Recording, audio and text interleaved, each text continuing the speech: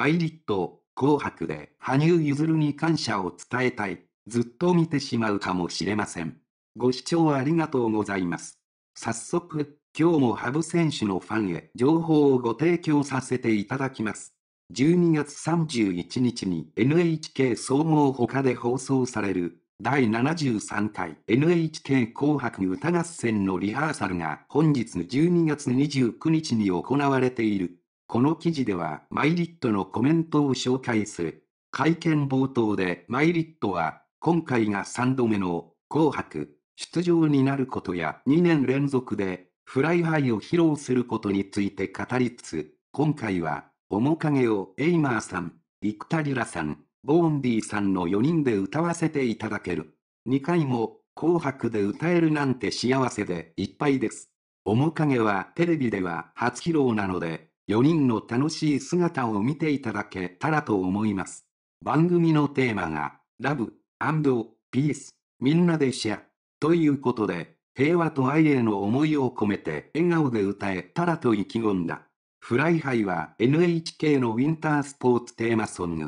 フィギュアスケート選手として活躍し、現在はプロアスリートとして活動している羽生結弦にインスピレーションを受けて milet が制作した。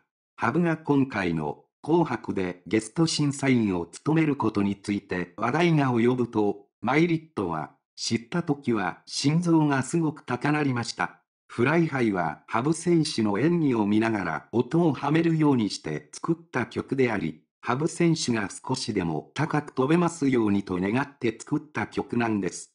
だからご本人の前で歌うとなったら、今までにないような気持ちで歌うことになるのかなと思います。ずっと見てしまうかもしれません。羽生選手の演技や言葉に勇気づけられたので、会話なんて恐れ多いですが、ただただ感謝を伝えられたらと語った。記者からの今年1年を漢字1文字で例えると、という質問に、マイリットは、祭りと回答。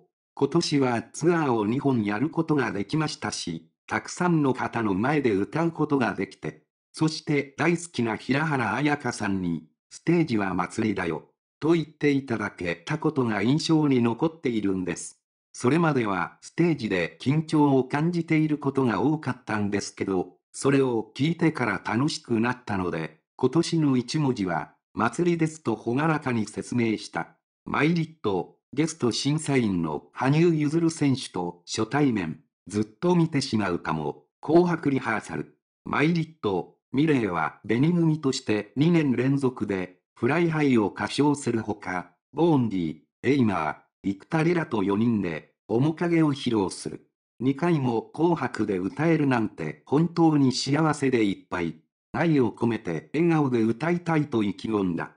NHK ウィンタースポーツテーマソングの Fly High は今回の紅白にゲスト審査員として出演する羽生結弦選手に強いインスピレーションを受けて制作した楽曲。本人の前で歌うことに審査員でいらっしゃることを聞いた時に心臓の高鳴り方がすごく速くなった。演技を見ながら、ジャンプに音をはめるように作った曲。今までにないような気持ちで歌う。